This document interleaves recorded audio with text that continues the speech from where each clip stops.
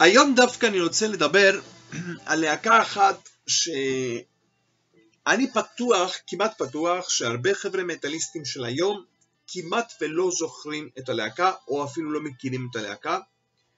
אמנם להקה שכאשר היא התחילה היא הייתה מאוד, איך אומרים, מאוד מדוברת בתוך הקהל המטאליסטי, בעיקר בתוך הקהל המטאליסטי של הפאוור מטאל, heavy power metal. אנחנו מדברים על שנות ה-90 המאוחרות, אז יצאו כל מיני להקות חשובות באותה תקופה, אם אתם זוכרים, אה, בעיקר בפאוור מטאל, HammerFall, Rhapsody, לפני זה נקראו Rhapsody of Fire, מה עוד, Primal Fear, כל מיני להקות שהם הפכו להיות עם הזמן מאוד מאוד חשובות. ועד היום הזה אנחנו רואים אותם. עכשיו, ואני יכול להגיד שבאותה תקופה גם היו עוד להקות מאוד מאוד מפורשמות שעד היום הזה ראינו את השפעתם במטאל, כשהיה גם, לא דווקא בפאוור מטאל, כאילו להקות שהם היו בתוך אולי האקסטרים מטאל יותר, אבל גם היה להם השפעות מהקלאסיקל מטאל, כגון In Flames, Dark Tranquility, Children of Bodom, אוקיי. עכשיו בואו תראו. אנחנו, אני עכשיו אני רוצה לדבר על להקת בשם סינרג'י. סינרג'י, אה, מי שמכיר אותם, הם הוציאו רק שלוש אלבומים, התחילו ב-1997, הלהקה המשיכה עד 2004 ואחר כך התפרקה. אה, בעיקר הלהקה הזאת זה להקה של supergroup, זאת אומרת בתוך הלהקה עברו הרבה, איך אומרים, דמויות חשובות של המטאל. המטאל הסקנדינבי, גם מסווידן, גם משוודיה, גם מפינלנד, ולא רק, ולא רק, כמו שאנחנו נראה. אה, אבל הרבה אנשים, אם כן, אלה שזוכרים את Sinergy, זוכרים אותה כהלהקה השנייה של אלכסי לייכו, של Children of Bodom. rest in peace כמובן, אלכסי לייכו, הוא נפטר לפני כשנתיים, כן, ב-2000, מתי הוא נפטר? ב-2021, אם אני לא טועה. כן. אז אה, בואו תראו, הלהקה הזאת בעיקר זה לא היה רק של אלכסי לייכו, הלהקה הזאת אם כן היה עוד יותר של אשתו, חברת, חבר, חברתו לפני ואשתו אחר כך, בשם קימברלי גוס, קים גוס, כמו שמכירים אותה. עכשיו, אבל לפני כל זה, כי אני רוצה לדבר קצת על ההיסטוריה של הלהקה ולהבין איך להקה כל כך, בוא נגיד, עם פוטנציאל גדול, עם הרבה חבר'ה כל כך מוכרים בתוכה, בסופו של דבר היא לא הצליחה, איך אומרים, אה, להביא בשורה גדולה במטאל. חוץ אולי מהאלבום הראשון שלה. בואו נראה. אני אגיד לכם גם איך אני הכרתי את הלהקה בשלבים יותר מאוחרים. אוקיי, קודם כל בואו נתחיל קצת לדבר על החבר'ה של הלהקה. אז אנחנו נתחיל קודם כל על עמוד התווך של הלהקה, שזאת היא עצמה הזמרת אה, גוס, קימברי גוס, הפרוד וומן. היא בכלל, אה, מדובר על בחורה אסיאתית אמריקאית שנולדה בארצות הברית, מאבא קוריאני ואימא גרמניה, בשם אליזבת אם אני לא טועה אימא שלה. קימרי גוס, קימרי גוס, קים גוס, באיזשהו שלב עזבה עם אימא שלה ליפן והיא גרה בזמן הילדות שלה כמה שנים טובות ביפן. אחרי זה היא חזרה לארצות הברית ושם בשנות, בשנות ה-90, התחלת שנות ה-90, כשהייתה בת 16, היא הפכה להיות ממש בתוך הבלק מטאל. עכשיו, באותה תקופה בארצות הברית זה לא היה כמו היום ה-USBM כל כך חשוף וכל כך, אה, בוא נגיד ככה, מפותח. אז בארצות הברית היא הייתה דווקא יוצאת מן הכלל והיא התחילה אחד מהפאנט זיינס הכי אקסטרים מטאל בארצות הברית. אה, בעיקר על בלק מטאל ודף מטאל. היא הייתה בקשר עם להקות כמו Dimmu Borgir, כמו Emperor, כמו Bathory, אוקיי. ובגיל 17 היא מחליטה לעזוב את הכל, לעזוב את ארצות הברית ולבוא לגור בנורבגיה, כן, במקור של ה inner circle, להיות קרוב, קרובה לכל העניין של הבלק מטאל הנורבגי. שמה היא מתחילה גם, כנראה היא ידעה לנגן גם keyboards, אה, אה, והיא התחילה להיות הקיבוריסטית של להקת אסיאנט הנורבגית, בלק מטאל נורבגי כמובן, אה, לורד גייפס דרך אגב היום הוא מברזיל במקור, אבל היום הוא גר. בישראל, כן? אם אני לא טועה, בתל אביב, באזור תל אביב. ואז היה אז הזמר של, של האסיינטי. ויש דרך אגב, יש את הוידאו קליפ המוכר, הכל כך מצחיק באיזשהו שלב של אסיינט, שגם לורד קייפוס הוא שמה, זה היה האלבום השלישי של, של אסיינט בשם קיין כרוניקלס, המפורשם ביותר, בוא נגיד ככה. ושמה, בוא נגיד ככה, באותו וידאו קליפ מופיע גם גוס. היא מופיעה גם היא. אז היא הייתה בהתחלה אצל אסיינט, אחר כך היא עברה לזמן קצר להיות הקיבוריסטית, הסיזון לפחות קיבוריסטית של דימו בורגי.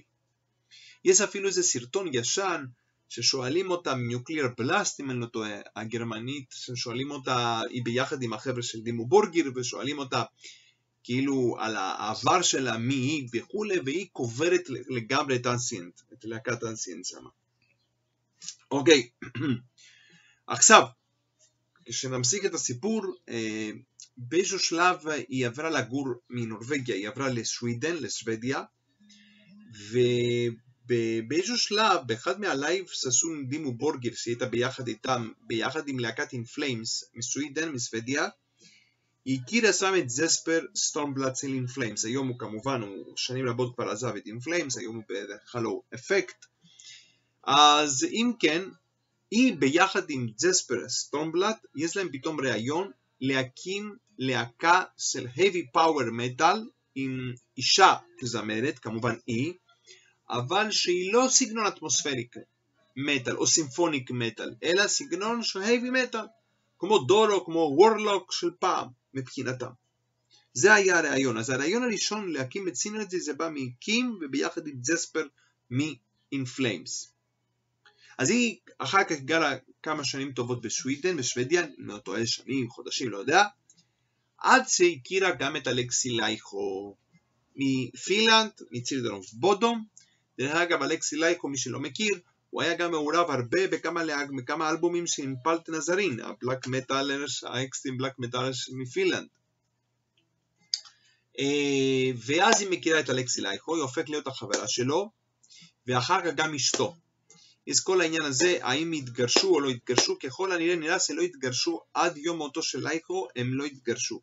רשמית, יש, אה, דרך אגב, אחרי, אחרי מותו של אלכס לייקו התחילה מלחמה לכמה זמן בין גוס לבין בין המשפחה של לייקו, שאחד תוקף את השני.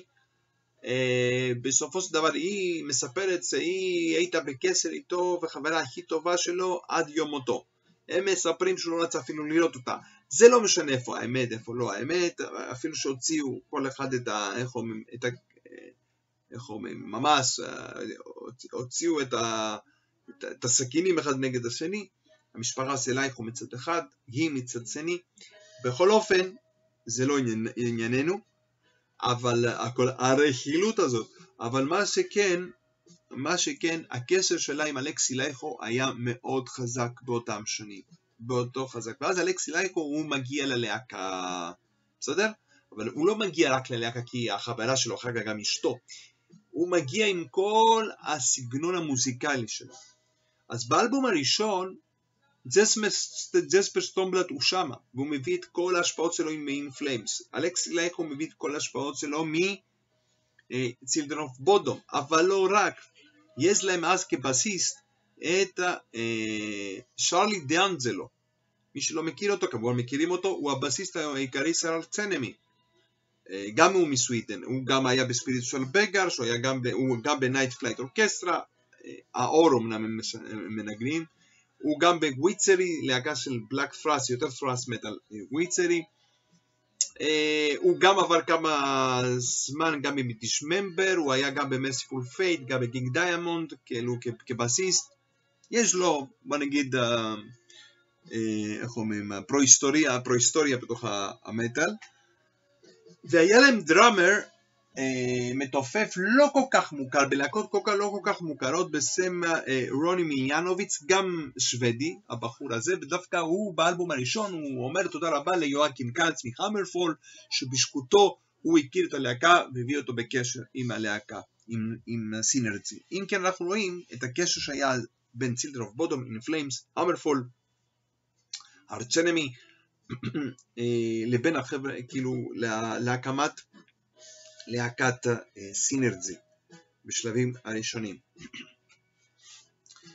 אז ב-1999 מוצאים את אלבום הדביוט שלהם, ואחר כך, בשנה הבאה, פתאום אה, כל החבר'ה משווידן, השלוש החבר'ה משווידן, כולל, כולל ג'ספר, כולל גם דנצלו, כולל גם את הדראמר מיליאנוביץ', עוזבים את הלהקה. נשאר בעיקר גוס ואלכסי לייכו, ולייכו מביא כל מיני חבר'ה מפילנד בתוך הלהקה, וככה הלהקה הופכת להיות יותר פינית, אם כן. בעיקר הביאו שם כמה חבר'ה מ-Children of Bodom, בעיקר את לטוולה בגיטרות, הוא היה הגיטריסט של Children of Bodom. Uh, כדראמר הביאו את המתופף טונמי לילמן, אם אני לא טועה בשם שלו, שהוא היה מוכר יותר כהדראמר המיתולוגי של לורדי, להקת לורדי בשם אוטוש, זה היה השם במה שלו. הוא גם נפטר ב-2012, rest in peace. הוא היה גם בלהקת To Die For, מי שלא מכיר, גם סגנון של סימפוניקה מטאל, אבל הוא היה יותר מפורשם עם לורדי. דרך אגב, גם עוד חבר'ה של לורדי עברו מהלהקה מפה ומשמה, כמו עוד חבר'ה מ Children of Bodom.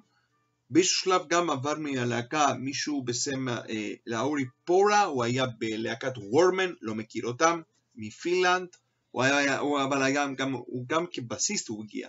הוא היה גם קשור ל Stratovarius אמנם, וכ drummer עבר גם מי שנקרא אה, יאנה פרוויאינן, אולי אני הורג את השם שלו, שהוא היה בלהקת black doom metal Barathrum, ואחר כך נראה לי עד היום הזה הוא ה drummer של Ensiferum, אם אני לא טועה. קיצור, פתאום אנחנו רואים כמה חבר'ה פה שהם קשורים לכל מיני להקות. אה, דרך אגב, גם אה, קים גוס, חוץ מזה שהייתה ב Ancient, דרך אגב אצל Dimmu Borgir, אה, באיזשהו שלב גם היא ניגנה keyboards וגם עשתה קולו, קול, היא שרה בשיר, באלבום Theli של Therion, הסימפוניק מטאלרס, אז היו סימפוניק דף מטאלרס באותה תקופה. אם כן, אנחנו רואים פה חבר'ה, שכל אחד פה מביא את, ה, איך אומרים, את עולם ומלואו בתוך המטאל, ודרך אגב כמה מעניין להיות חבר'ה שהם היו גם בתוך הבלק מטאל, גם בתוך הדף מטאל, לא היה לו שום בעיה להיות גם בתוך הפאוור מטאל, ולערבב הכל ביחד, הכל יפה ונחמד. אז אה, דרך אגב, אז קימרי, קים, קים גוס, אז הייתה גרה בנורבגיה, עברה לסווידן, לסוודיה, אחר כך היא עברה, בזכות לייכו, היא עברה גם לגור בפינלנד. היא עברה לכל, כמעט מכל המדינות של סקנדינביה. אה, אוקיי, עכשיו, איך אני הכרתי את הלהקה? באותה תקופה הייתי ב...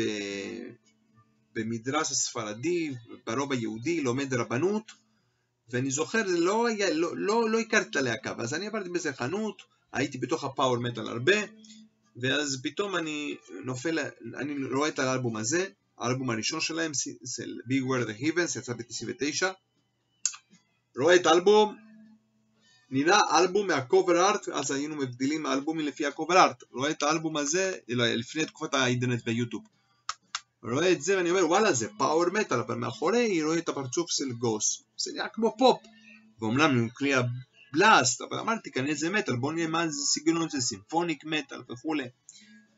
בכל אופן, כשאני שומע את זה, הייתי כל כך בהלם, כי זה power metal חזק במיוחד, זה לא euro power, יש השפעות של euro power אבל זה לא בדיוק euro power, הוא יותר כאילו לכיוון ה-US power metal, כאילו יותר power heavy metal חזק. באמת, פה יש שירים כל כך טובים, שבאמת, עד היום הזה זה אחד מהאלבומים הכי טובים שיש לי בתוך כל הקולקציה שלי. ככה, אני מאוד מאוד התחברתי עם האלבום הזה.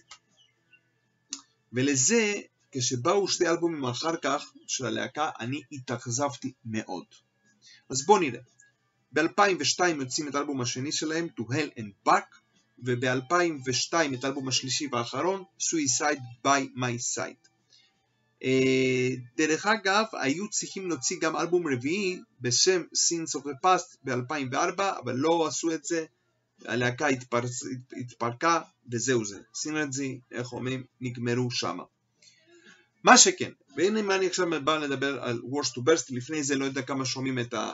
את הרקע, אני שומע פה Television, את החבר'ה האלה, ה proto-punk, החבר'ה האלה עם האלבום המפורסם שלהם, Marquee Moon, עכשיו לענייננו. במקום השלישי והאחרון אני אשים דווקא את האלבום השלישי שלהם של 2002 Suicide by my side. כן, תשע שירים פה ואחד האחרון הוא רק instrumental, Remembrance לזכר הנרצחים בתאומים, בפיגוע בתאומים אבל חוץ מאלבום, חוץ מהשיר פה written in stone אני לא מתלהב בכלל עם האלבום הזה. מאוד גנריק מבחינתי, פאוור מטאל אבל מאוד גנריק. הוא רע? לא. גנריק כן, מאוד.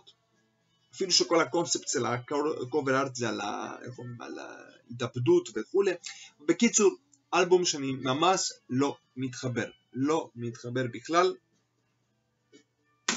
במקום עכשיו השני, האלבום השני שלהם, של שנות 2000, כבר הלהקה פה הפכה להיות יותר פינית, כל החבר'ה של שווידן עזבו, הביאו, פה היטלה התחיל להיות מ Nightwish, אה, לא, כן, אה, את הסיפור, כמו שאמרתי, זה כנראה הכירו, Nightwish הכירו את היטלה, כאילו הכירו אותו, הוא היה בלהקת Tarot של power, heavy metal Tarot, והוא עבר להיות ב Sinergy, כשהם ניגנו לייב עם Nightwish, Nightwish ככה, אה, איך אומרים, אה, הביא אותו ללהקה אחר כך, הפך להיות אחד מהאנשים הכי חשובים ב Nightwish, עד שהוא עזב את Nightwish לפני כמה שנים, הוא עזב כמעט בכלל כל העולם של המטאל, מה שאני מבין. קיצור, פה האלבום הזה, To Hell and Back, הוא לא אלבום רע, יותר טוב מ-Suicide by My Side, אבל עוד פעם, אי אפשר להסוות אותו. עם הדביוט אלבום. בשום פנים ואופן. ובסופו של דבר, כמו שאתם מבינים, במקום הראשון, אני שם את ה-Big Word of the Heavens של 99, שמבחינתי זה אלבום כל כך טוב, יש פה שירים, The Fourth Word, The Warrior Princess, כן, לזינה, הלוחמת זינה, uh, Big Word of the Heavens, ועוד ועוד ועוד, שבאמת, אני ממש מאוד, ממש, איך אומרים, סוקד את האלבום הזה. מה שרציתי להגיד, יש פה שיר, The Fourth World, באלבום השני שלהם יש להם שיר Return to the Fourth World, ובאלבום השלישי יש להם שיר Passage to the Fourth World. קיצור, זה להקה שהתחילה, איך אומרים, מאוד עם supergroup, עם הרבה חבר'ה מוכרים, התחילה, איך אומרים, בצורה מאוד מאוד טובה, דווקא ב debut album, כמו שאמרתי קודם, שהיו פה גם החבר'ה כמו ג'ספר היה פה, ד'אנג'לו היה פה, פה אתה שומע גם את השפעות של Children of Bodom, מאלכסי לייכו, גם את השפעות אה, של In Flames, זה מושלם. אה, מה שכן, הלהקה הזאת התחילה כל כך טוב, ובתוך רק כמה שנים, בתוך רק שתי אלבומים, קברה את עצמה עד שנעלמה מהעולם. זהו! אז זה כלפי סינרג'י מישראל, מירושלים, סטי מטאל וסטי חבי.